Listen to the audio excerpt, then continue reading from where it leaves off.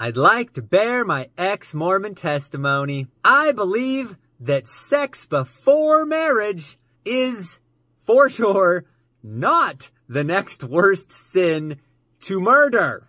No, everybody outside the Mormon church knows that it's actually misplacing your goddamn TV remote somewhere in that black hole underneath your couch cushions in the living room. And I say these things in the sacred name of no more cognitive dissonance in my life. Amen.